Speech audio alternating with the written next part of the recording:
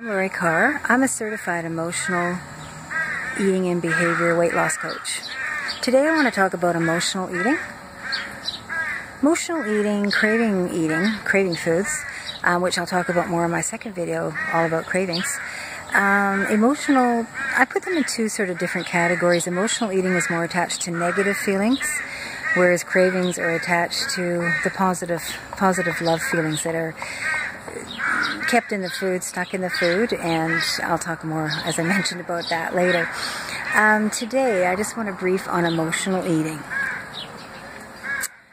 I want to start off with my story and how this works. Years ago, I was in a car accident, and it was actually a really bad car accident. I um, was in the middle of a, actually just the beginning of a school term in a kindergarten class, and I was hit and I was in a lot of pain. I was suffering. I was angry because it wasn't my fault. I was, hey, why did this happen to me type thing.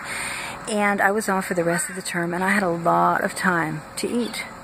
And unfortunately, instead of dealing with those emotions in a positive way, and you know working through my feelings of anger and upset and lonely and whatever else it may be i dealt with it through food and eating excessively in food you know any type of food. It didn't have to be a crave food a specific one that you love.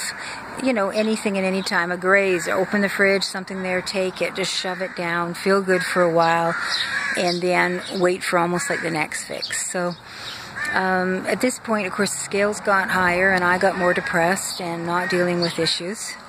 Um, over the years, I, um, during this coaching program certificate that I took, I dealt with psychology, subconscious mind, and I realized and got to know how the subconscious mind sets mindsets and programs your brain. Um, really, it holds you back. It likes to keep you stuck. It likes to keep you safe. It likes to um, oh, self-sabotage. And when I think of self-sabotage, a good good example is, you know, sometimes things are going so well in your life and everything is just going wonderfully, and all of a sudden, you take three steps forward and two steps back. And you're like, really? I'm back here again? And that that is the subconscious mind self-sabotaging you and keeping you safe and keeping you where you're at. So the good news is I have learned that through EFT or tapping emotional freedom technique, as it's called, um, best way to describe it is like an acupressure without needles on your meridian points.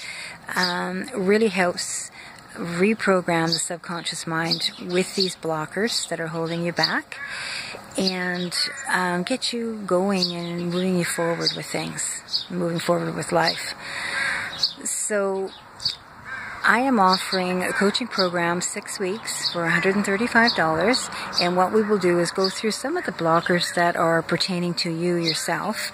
And what my goal is is to um, at the end of it all get you more mindful so that you're still eating. Like I still eat my homemade cheesecake. I love it. It's it's one of my favorite things. But I don't indulge in a whole piece.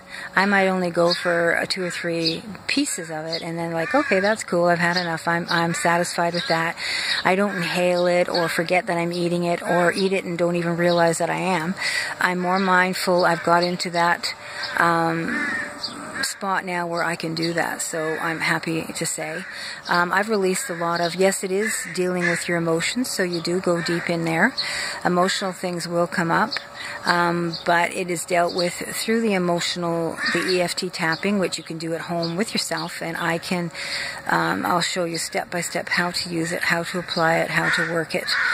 And um, the goal is so that you will be able to um, enjoy food, eat food, and do it in the right ways instead of using it for reasons you know, you're angry, tired, lonely, whatever it may be, the things that you shouldn't be using food for, you're using it in a positive, reinforcing way instead.